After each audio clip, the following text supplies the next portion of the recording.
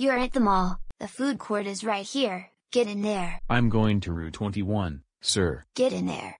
Get out of my car, now. Where is my destination? I said, get out of my car, now. I don't know where I am. I am asking you where is my destination if you will kindly point at where I am supposed to go. I pulled into your destination, it said here I was at your destination, it's over, get out of my car now. Seriously, it said 1760. You get out of my car, now. Sir, it said. Get out of my car, now! Why are you yelling at me? Because you won't freaking get out of my car! But you are not to yell at me. You are not to yell at me. Nine!